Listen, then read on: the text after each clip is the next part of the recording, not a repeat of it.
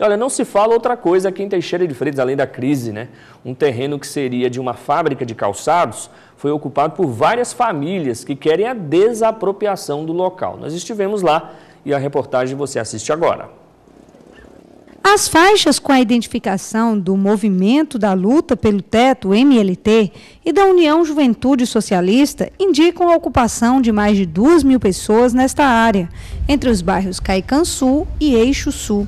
Nesse terreno, ia prometer os 5 mil empregos direto a Grandene. E no momento a Grandene só tem 80 funcionários, a área ia ficar abandonada, jogada aqui, uma área dessa não pode ficar assim. Aí em conversa entre amigos e tal e tal, junto com o movimento, decidimos entrar, permanecer aqui e ocupar. Isso aqui é uma ocupação. Desde o último sábado, homens, mulheres e crianças delimitaram áreas e improvisaram um acampamento, a fim de garantir um pedaço de chão para a construção de moradias. O pessoal que está aqui necessita mesmo. Aqui não está à toa, não, porque eu pago aluguel, eu sei que não é fácil. Pagar um aluguel aí de 300, 350 reais.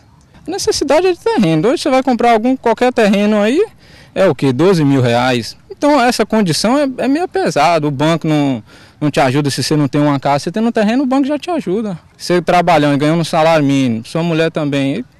É muito difícil conseguir comprar um terreno assim. Apesar da afirmação de falta de condições financeiras para a construção de residências do grupo, nas proximidades da área ocupada, muitos carros e motos. Um dos líderes do movimento garantiu que haverá fiscalização para evitar oportunistas. Tem um negocinho chamado CPF, né, que todo mundo deve conhecer e é, a partir disso dá para saber se a pessoa tem uma casa ou não, tem, se tem bens em seu nome ou não. E a gente está fiscalizando e vamos dar prioridade como eu já havia falado, para casados, para quem realmente necessita, para quem mora de aluguel. Zenilda tem 64 anos e nunca se aposentou. Chega a se emocionar quando conta o quanto já trabalhou no campo e não conseguiu a casa própria. Hoje ela mora de favor com os filhos e luta por um pedaço de chão. Não tem ninguém por mim, não tem marido. Só tem a filha com um neném novo, arranjou esse filho. Ela não tem marido. Que nessa fita é esse.